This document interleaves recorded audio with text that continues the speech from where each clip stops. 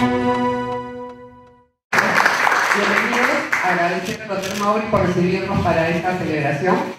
Ya como mencionó Jesús hace un ratito, desde 2004 celebramos el primer sábado de febrero como el Día Nacional del Pisco. Aquí celebramos no solamente el Día Nacional del Pisco sino la creatividad del peruano también. ¿no? Que hemos llegado muy lejos con nuestro, este, nuestra bebida bandera.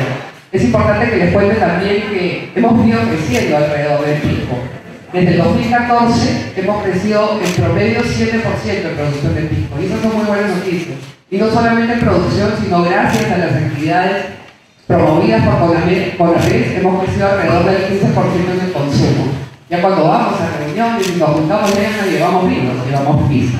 Y eso es bueno. Tomamos nuestro chicanito, muy rico, y tenemos que seguir promoviéndolo para hacer crecer a nuestros productores en el país.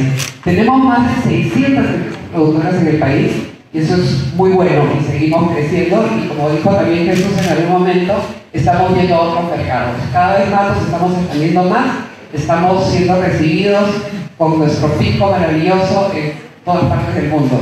Y de clase mundial también, vamos a estar presentes en, en Rusia llevando nuestro pico y a ver si podemos este, entrar y desplazar un poquito a vodka.